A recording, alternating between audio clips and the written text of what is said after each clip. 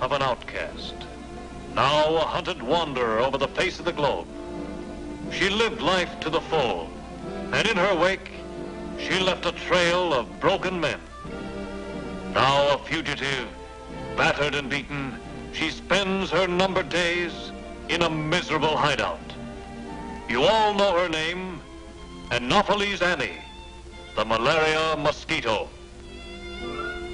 Oh?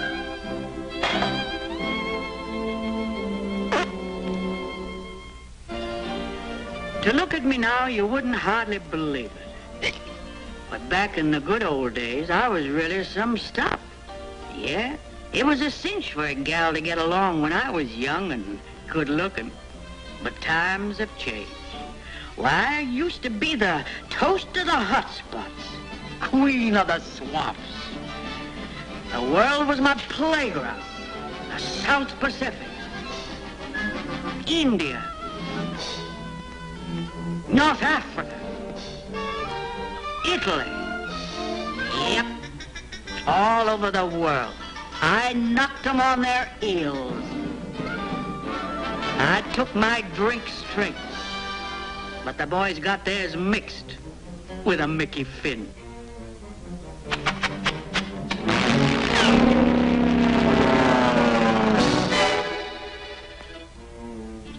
My percentages was going up when the big shots turned on the heat. It was the same old vice squad that made it hot for me down in Panama.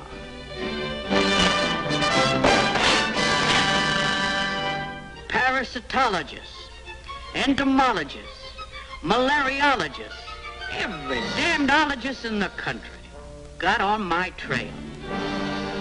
And I do mean trail. They started a cleanup. First, they wise the boys up.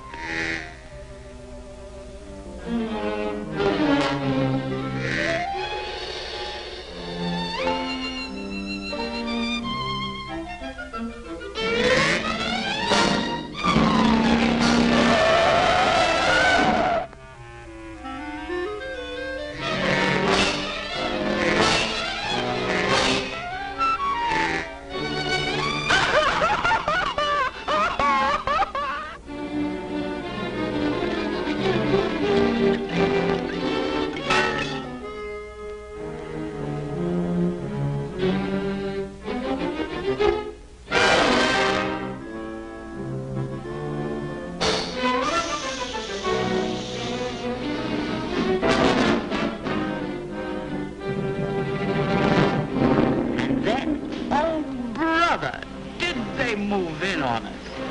They smashed up our hangouts. They really poured it on with oil. They dusted us off with Paris green. They busted in all the joints from Burma to Bizerte.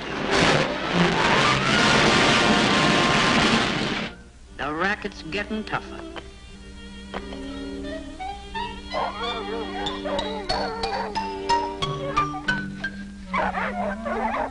Percentages ain't what it used to be, but thanks to Snafu, a smart operator can still sneak in for a one-night stand.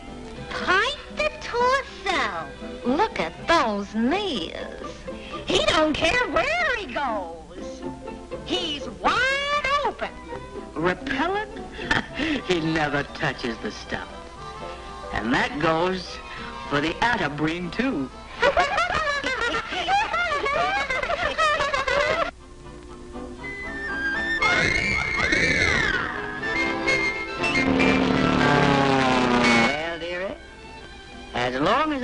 guy's around, a little gal can still make an honest living. Oh,